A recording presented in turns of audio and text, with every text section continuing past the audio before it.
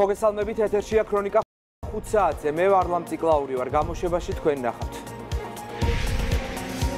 პრემიერ-მინისტრის ამერიკაში ვიზიტთან დაკავშირებით ქრონიკასთან პირველ კომენტარს აკეთებს მთავრობის ადმინისტრაციის ხელმძღვანელი. ვითარება გურიაში სტიქიის სალიკვიდაციო სამუშაოები მესამე დღეა მიმდინარეობს უკრაინა ოკუპანტთა სახმელეთო იერიშებს იგერიებს. ყველაზე ცხელ წერტილად კლავ კუპიანსკის ლიმანისა და ბახმუტის მიმართულებები რჩება. პრემიერ-მინისტრის ამერიკაში ვიზიტთან დაკავშირებით ქრონიკასთან პირველ კომენტარს აკეთებს მთავრობის ადმინისტრაციის ხელმძღვანელი. რევა ჯაველიძე ამბობს რომ ირაკლი ღარიბაშვილს არასდროს უსარგებლია სახელმწიფო ბიუჯეტის ხარჯზე და ახლაც მისი კერძო ვიზიტი ამერიკაში პირადი სახსრებით აანაზღაურა. მისი თქმით პრემიერს სამთავრობო ბორტის გამოყენების უფლება აქვს და ხარჯებზე პასუხისმგებელი თავად არის. მინდა ცალსახა განცხადება გავაკეთო რომ საქართველოს პრემიერ-მინისტრი კერძო ვიზიტის დროს არასოდეს არ უმგზავრია არც ამ კონკრეტულ შემთხვევაში უმგზავრია და არც მომავალში არაპირებს იმგზავროს სახელმწიფოს ხარჯზე. მას საქართველოს კანონი არ დაურღვევია. სამთავრობო ბორტის გამოყენების უფლება მას აქვს, ისევე როგორც სახელმწიფო დაცვის უფლება, ამის შესახებ ბატონ მანზურ ჩუბინიძემ საკმაოდ ცელი განცხადება გააკეთა და ის კამპანია, რომელიც დღეს მიმდინარეობს, არის უბრალოდ ცილის წამებლური. არის სრუ არის ტყუილი. საქართველოს პრემიერ-მინისტრის ეს კერძო ვიზიტი იყო და ის არის პასუხისგებელი უშუალოდ იმ ხარჯებზე, რაც დაკავშირებულია ამ ვიზიტთან. ამ თემასთან დაკავშირებით დღეს კიდევ ერთ განცხადებას აქვეყნებს მთავრობის სტრატკომი განცხადებაში წერია რომ თვითმფრინავი რომლითაც პრემიერმა მიუჰენამდე იმგზავრა სახელმწიფო დაცვის სპეციალური სამსახურის ბალანსია და სააგენტოს აქვს უფლება მიიღოს შემოსავალი როგორც სამთავრობო საბიუჯეტო სტრუქტურებიდან ასევე კომერციული და კერძო პირებისაგან. პრემიერ-მინისტრის მგზავრობისას კი ხარჯი სახელმწიფო ბიუჯეტიდან არ გაწეულა გსურს გამოვეხმაუროთ ტელეკომპანია პირველის ეთერში პრემიერ-მინისტრი ირაკლი ღარიბაშვილის ამერიკის შეერთებულ შტატებში მგზავრობის შესახებ გასულ დეზინფორმაციულ სიუჟეტს. ტელეკომპანია მიზან მიმართულად გაავრცელა ცრუ ინფორმაცია, რომელიც მიზნად ისახავს საზოგადოების შეცდომაში შეყვანას. საზოგადოების ინფორმირების მიზნით არაერთხელ გაკეთდა განმარტება იმის შესახებ, რომ რეისი, რომლითაც პრემიერ-მინისტრი მიუნხენში გაემგზავრა, იყო კომერციული და კერძო ვიზიტისაც პრემიერ-მინისტრის მგზავრობის თუ ნებისმიერი სხვა ხარჯი სახელმწიფო ბიუჯეტიდან არ გაწეულა. ამის მიუხედავად სიუჟეტში მტკიცებით ფორმაში იყო ნათქვამი, რომ აღნიშნული რეისი სახელმწიფო ბიუჯეტის ხარჯზე შესრულდა. სახელმწიფო დაცვის სპეციალური სამსახურის უფროსმა ანზორ ჩუბინიძემ სიუჟეტის ეთერში გასვლამდე განმარტა, რომ აღნიშნული რეისი იყო კომერციული და რეისის ანაზღაურება არ მომხდარა ბიუჯეტიდან. ამის მიუხედავად ეთერში გასულ სიუჟეტში ეს ინფორმაცია მიზან მიმართულად იყო უგულებელყოფილი საზოგადოების შეცდომაში შეყვანის მიზნით. თვითფრინავი რომლითაც პრემიერ-მინისტრმა მიუხენამდე იმგზავრა იმყოფება სახელმწიფო დაცვის სპეციალური სამსახურის საჯარო სამართლის იურიდიული პირი სახელმწიფო უზრუნველყოფის სააგენტოს ბალანსზე. აღნიშნულ სააგენტოს აქვს სრული უფლება მიიღოს შემოსავლები როგორც სამთავრობო და საბიუჯეტო სტრუქტურებიდან, ასევე არასამთავრობო კომერციული და კერძო პირებისგან. მსგავსი კომერციული ტიპის რეისი მანამდეც არაერთხელ შესრულებულა. ოპოზიცია პრემიერის იმპიჩმენტზე ალაპარაკდა ინიციატორი პარტია ლელოა ირაკლი ღარიბაშვილის პასუხისმგებლობაზე საუბრობს ნაციონალური მოძრაობა. მართლ გუნდში კი ოპონენტებს კიდევ ერთხელ ახსენებენ რომ სახელმწიფო ბიუჯეტის სარგებლობა მათი და მათი ლიდერი სააკაშვილის მანკიერი პრაქტიკა იყო რომელსაც ქართულ ოცნებასთან არანაირი კავშირი არ აქვს. როგორც პარტიას ისე თავრობის ეს ბინზური კამპანია მსახურება მხოლოდ 9 წლის განმავლობაში მესამე პრეზიდენტის მიერ სააკაშვილის მიერ დამკვიდრებულ მავნებულ პრაქტიკას რომელიც სახელმწიფო სახსრებს ქართული ხალხის სახსრებს იყენებდა პირადი სარგებლისათვის და საკუთარი ოჯახის სარგებლისათვის. ყველას კარგად გვახსოვს ვიზაჟისტების მასაჟისტების მიმოფრენა აკეთიკით საკუთარი სიამოვნებისათვის ისევე როგორც 1000 გაუგებარი საჩუქარი სხვადასხვა ქალბატონებისათვის იყო ეს სამაჯურები, საათები, ტელეფონები თუ ასე შემდეგ. კომერციული მიზნით შესრულებული პრემიერ-მინისტრის მიერ შესრულებული ეს რეისი არის არა ქართული ხალხის და სახელმწიფოს ხარჯი შესრულებული, არამედ პირადი ხარჯით დაფინანსებული. ისი უფლებაც ნებისმიერ საქართველოს მოქალაქეს აქვს. აღნიშნული ბორტი იმყოფება ისეთი კომპანიის ბალანსზე, რომელსაც საკუთარი წესდებით და საქართველოს კანონმდებლობით აქვს აბსოლუტური უფლება ნებისმიერ მოქალაქეს, იქნება ეს პრემიერ-მინისტრი ნებისმიერი თქვენთაგანი, თუ გექნება დაღვერთვა მოგცეთ საშუალება, მიაქირაოს ეს ბორტი და მოემსახუროს მას. ამაში არაფერი დანაშაულის შემცველი არ გახლავთ. საქართველოს პრემიერ-მინისტრი მოიქცა აბსოლუტურად დადგენილი წესით დაზიანებული სახლები, ელექტროგადამცემი ხაზები და გზები გურიაში სტიქიის სალიკვიდაციო სამუშაოები მესამე დღეა მიმდინარეობს. იწმინდება საავტომობილო გზა. ამ ეტაპზე უცნობია ზარალის ოდენობა. საშინელი მდგომარეობა, საშინელი სახლებში შევარდნილი, აგერ თქვენს კიდევაც ხედავთ დაღუპულია რემონტი, დაღუპულია ქვედა სართულში, აი ტალახით ვიღეთ ლაფათქით და ვედროებით. სტიქიდან მესამე დღეს ვითარება ქვემო მამათში მძიმეა. 40-მდე ოჯახი ამ დრომდე გარე სამყაროსგან არის მოწყვეტილი. სოფელთან დამაკავშირებელი გზები დაზიანებულია, დამეწყრილია სახლები და განადგურებულია მოსავალი. აქ მძიმე ტექნიკა უწყვეტ რეჟიმში მუშაობს. სოფელში მოხვედრა მხოლოდ ბილიკით არის შესაძლებელი. ეზოები დაბზარული, ზემოთ ხომ ვეღარ ახვალთ საერთოდ სასაფლაოს გზა აღარ არსებობს. ზევით თხილები ჩემი მულის იყო თუ ამათი იყო თუ სხვა მეზობლების აღარა ძირშია დაფენილი ჩამოტანილი აგერ დაბლაყველი სატელეფონო კომუნიკაციები გვაქვს. თითოეულ ოჯახთან ვცდილობთ მაქსიმალურად რაც შეიძლება დავეხმაროთ თუ ვინმე საჭირო იქნება მედიკამენტური ან პროდუქტები არამე ყველას ვთხოვდა ვეუბნებით რომ შეგვატყობიეთ ესეც სოფელი მამათია. პატიაშვილების სახლის ნაწილი მიწის მასით არის დაფარული და საცხოვრებლად უვარგისია. ოჯახი ამ დროისთვის უსაფრთხო ადგილას არის გადაყვანილი და შენობაში მხოლოდ პირადი ნივთების შესაგროვებლად დაბრუნდნენ. იქედან დაწყებული ესე ბოლომდე სულ ჩამოტანილია ყველაფერი. ნარგავები რა თქმა თხილები მქონდა იქ ზემოდან სულ ჩამოტანილი. არაფერი არ მარგარა მოკლედ ანალოგიურად რთული სურათია ლანჩხუთის და ოზურგეთის სოფლებში.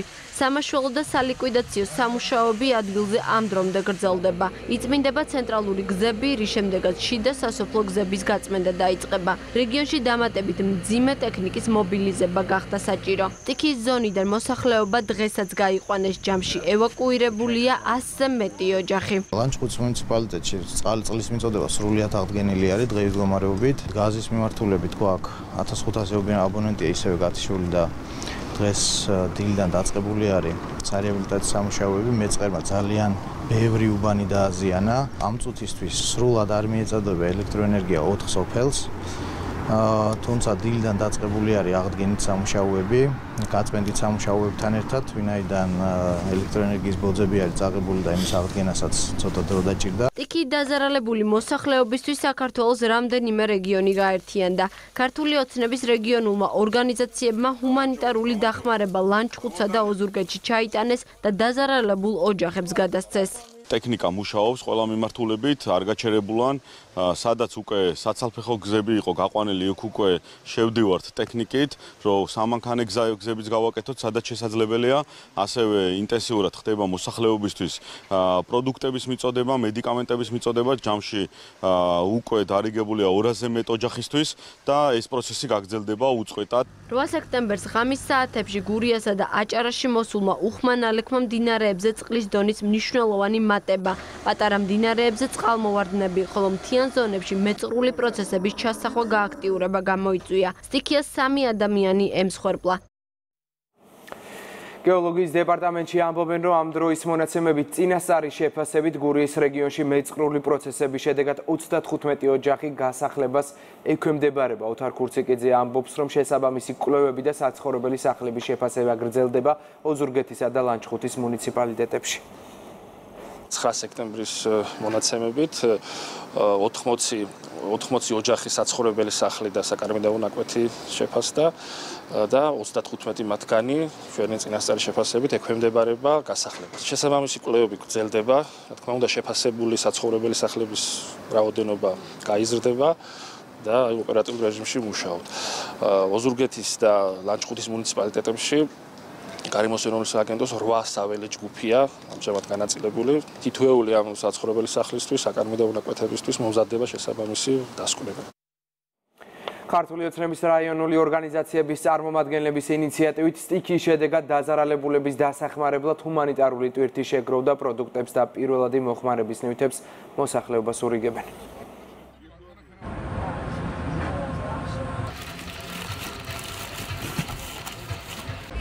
გასაგებია. გურიაში სტიქი დაზარალებული მუნიციპალიტეტებისთვის იგზავნება ჰუმანიტარული ტვირთი, რომელიც შედგება პირველადი მოხმარების აგნებისგან, სასურსათო პროდუქციისგან და ასევე ჰიგიენური საშუალებებისგან. მე მინდა ძალიან დიდი მადლობა გადაუხადო ყველა კერძო პირსა კერძო ორგანიზაციას შემოწირულობებისთვის, რომელიც აქტიურად აყვა ჩვენს ინიციატივას და მათი მეშვეობით დღეს ეს ტვირთი გაიგზავნება გურიის რეგიონს. მოგეხსენებათ სტიქიამ ბოლო დღეებში დააზარალა რამოდენიმე მუნიციპალიტეტი განსაკუთრებით დაზარალდა გურიის რეგიონი ამასთან დაკავშირებით ქართული ოცნების ზუგდიდი საოლქო ორგანიზაციამ შეაგროვა ნობათი, რომელიც დღეს გამგზავრება გურიაში და იქ დაზარალებულ ოჯახებს გაუწევთ მცირე მხარდაჭერას. ბათუმის რაიონული ორგანიზაციისა და ქართული ოცნების გუნდის ორგანიზებით აჭარის მუნიციპალიტეტებში ჰუმანიტარული ტვირთი შეგროვდა პირველადი საჭიროების ნივთები გურიის რეგიონში გაიგზავნება და სტიქის შედეგად დაზარალებულ მოსახლეობას მოხმარდება. გურიის რეგიონში სტიქის შედეგად განვითარებული მოვლენების გამო თანაუგზნობთ გარდაცვლილთა ოჯახებს მხარში უდგას აჭარის მუნიციპალიტეტები, ქალაქი ბათუმი, ჩვენი რაიონული ორგანიზაცია და ქართული ოცნების გუნდი დაზარალებულთა ოჯახებს ჩვენ შევაგროვეთ ჰუმანიტარული ტვირთი პირველადი საჭიროების საგნები, რომელიც გაიგზავნება გურიის რეგიონში და მოხმარდება დაზარალებულ მოსახლეობას. საყოფაცხოვრებო ნივთები, პროდუქტები და პირველადი მოხმარების საგნები დატვირთული მანქანა ლაგოდეხიდან უკვე დაიძრა ქართული ოცნების ადგილობრივ ორგანიზაციაში აცხადებენ, რომ პარტიის წევრებმა თავად გამოთქვეს სურვილი საქველმოქმედო კამპანიაში ჩართვის და დაზარალებულების დახმარების. ჩვენ ადგილობრივი ოფისის ქართული ოცნების წარმომადგენლება უმრავლესობა მივიღეთ გადაწყვეტილება შევიძინეთ არამალფუჭებადი პროდუქტები, ასევე პირველადი მოხმარების ჰიგიენური საშუალებები და ასევე საბნები და კიდევ სხვადასხვა პროდუქტი, რომელიც ეხლა ამ წუთას იტვირთება ასე ვთქვათ მანქანაში, რომელიც გაემგზავრება გურიაში დაზარალებული მოსახლეობის დასახმარებლად. რაჭაში მდინარე ჭანჭახის კალაპოჩი კიდევ ერთ გარდაცვლილს მიაკვლიეს ცხედარი ექსპერტიზაზე გადაასვენეს. ონის მუნიციპალიტეტში სტიქიის ზონაში სამძებრო სამაშველო სამუშაოები უწყვეტ რეჟიმში გრძელდება. ამ დროისათვის სტიქიის ზონაში აღმოჩენილია 32 ცხედარი ამ დრომდე ეძებენ ერთ ადამიანს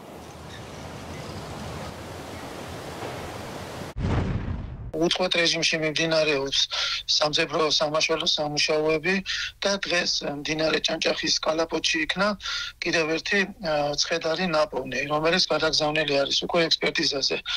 სულ 32 არის ცხედარი ნაპოვნი და ვეცებთ ერთ დაკარგულ მოქალაქეს. ორივე არასრულწლოვანი იყო, ვისაც ვეცებდით და მათ შორის ერთ-ერთი არის ნაპოვნი ამ არასრულწლოვანთაგან.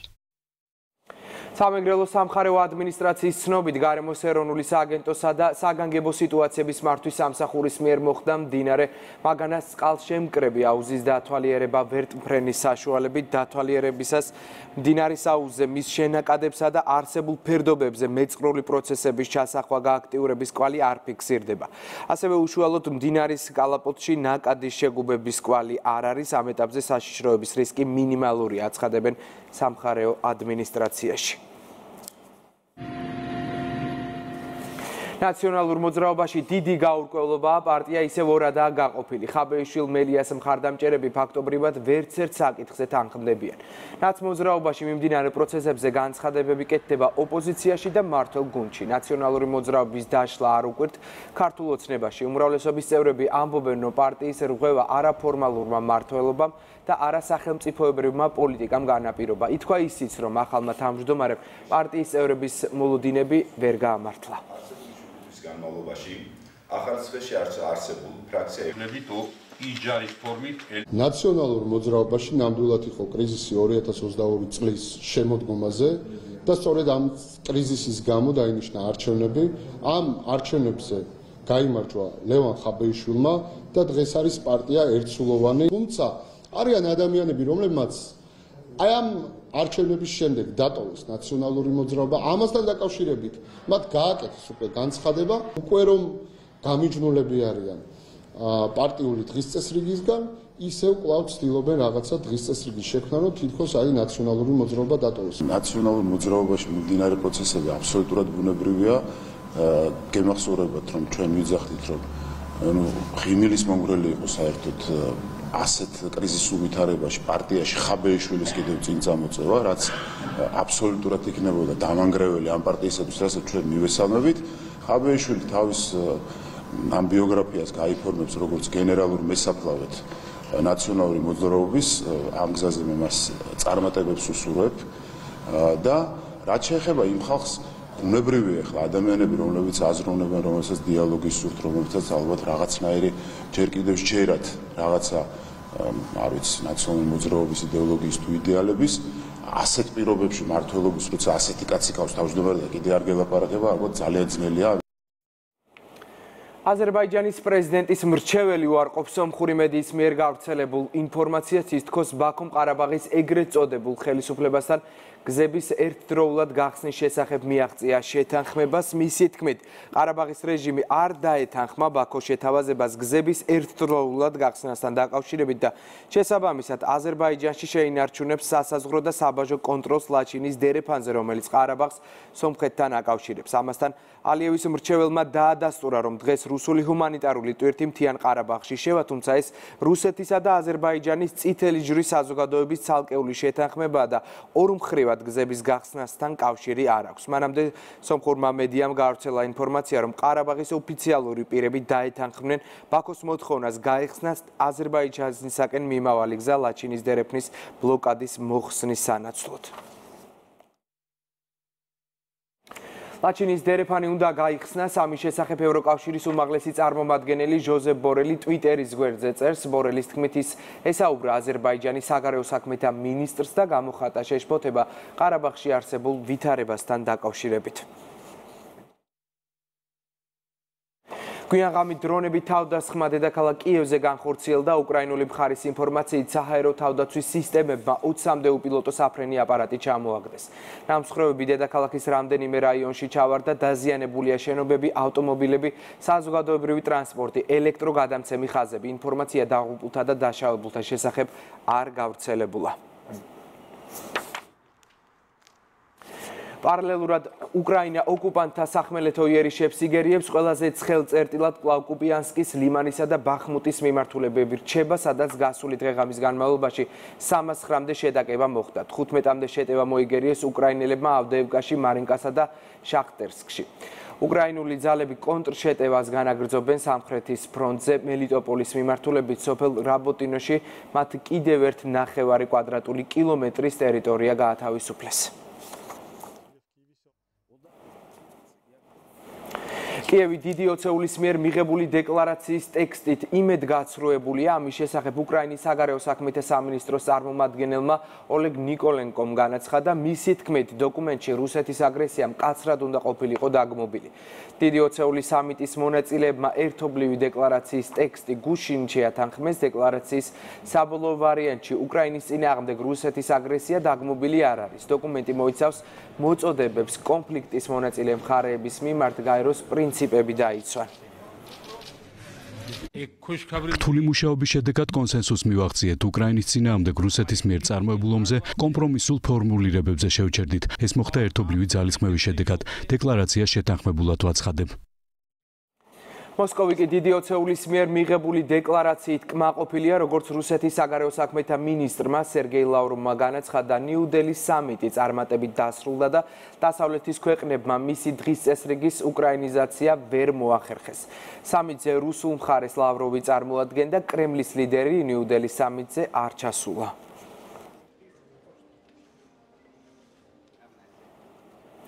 ბრაზილიის პრეზიდენტის თქმით ვლადიმერ პუტინს ბრაზილიაში არ დააპატიმრებენ თუ ის მომავალ წელს რიო-დე-ჟანეიროში დიდი ოცეული სამიც დაესწრება. მიმაჩნია რომ პუტინისათვის ადვილი იქნება ბრაზილიაში ჩამოსვლა თუ მე ვიქნები პრეზიდენტი და რუსეთის პრეზიდენტი ბრაზილიაში ჩამოვა მას არ დააპატიმრებენ აღნიშნა ბრაზილიის პრეზიდენტმა. მაროკოში დამანგრეველი მიწისძვრის შედეგად დაღუპულთა რიცხვი ისევ გაიზარდა. ბოლო მონაცემებით ეკიამ 2000-ზე მეტი ადამიანი იმსხვერპლა. მიწისძვრამ ყველაზე მეტად ქალაქი მარაკეში დააზიანა, რომელიც იუნესკოს მსოფლიო მემკვიდრეობის ძეგლთან უცხაშია შეყვანილი. დანგრეული ასობით საცხოვრებელი სახლი და შენობა ნაგებობა სამძებრო სამაშველო ოპერაცია სტიქიური უბედურების ზონაში ამ დრომდე გრძელდება. ქვეყანაში სამდღიანი გლოვა გამოცხადდა. საბერძნეთში წყალდიდობის შედეგად დაღუპულთა რიცხვი 12-მდე გაიზარდა, 6 ადამიანი დააკარგულად ითვლება. სტიქიის ზონიდან 4000-ზე მეტი ადამიანის ევაკუაცია განხორციელდა. დაზიანებულ რაიონებში საკვები, წყალი და მედიკამენტები გაგზავნეს. წყალდიდობა საბერძნეთში ძლიერ მაწვიმამ გამოიწვია, რის შედეგადაც ათობით ქალაქი და დასახლებული რაიონი დაიტბორა. 10 სექტემბერი საქართველოს ენერგეტიკოსის დღეა. დღევანდელ დღესთან დაკავშირებით ღონისძიება ზაჰესის ტერიტორიაზე გამართა. ისაუბრეს მიღწევებსა და გამოწვევებზე. დააჯილდოვეს ღვაწლმოსილი თანამშრომლები. აგვისტოს ჩათვლით მინდა დღევანდელი დღე მიულოცო დარგში დასაქმებულ ყველა თანამშრომელს უპირველეს ყოვლისა იმ თანამშრომლებს რომლებიც ამ წუთებში ახორციელებენ ჩვენი ქვეყნის ჩვენი მოსახლეობის სტაბილურ და უწყვეტ ენერგომომარაგებას გასული წელი მნიშვნელოვანი იყო მთელი რიგი ფაქტორებით ეს გახდათ წელი როდესაც დაფიქსირდა რეკორდული ექსპორტი ქვეყნის დამოუკიდებლობის მოპოვების შემდგომ ისტორიაში და ასევე რეკორდული გენერაცია. გენერაციამ გადააჭარბა 10 მილიარდ კილოვატ-საათს, ხოლო ექსპორტი ამ პერიოდისთვის პირველ 8 თვეში მილიარდ 300 მილიონ კილოვატ-საათს გასცდა. 41 წელია უკვე რაც ენერგეტიკაში ვარ. გულოცავ ყველა ენერგეტიკოს დღევანდელ დღეს, უსურვებ წინსვლას ყველას მართალია ჩვენ ვართ ის თაობა რომელიც ძიმე წლები გადავიარეთ თუმცა რა ვიცი ყველა რეფორმებმა წარმატებით ჩაიარა. ასეთი იყო ახალი ამბები ხუთზე. დღის ყველა სიახლეს შეგიძლიათ გაეცნოთ იმედი ნიუს წერტილი ჯიზე დღეს იმედის კვირა ახალ სატელევიზიო სეზონს იწყებს. გადაცემა დაიწყება ზუსტად 8 საათზე წინ გელოდებათ ტრადიციულად საინტერესო რეპორტაჟები. ნახოთ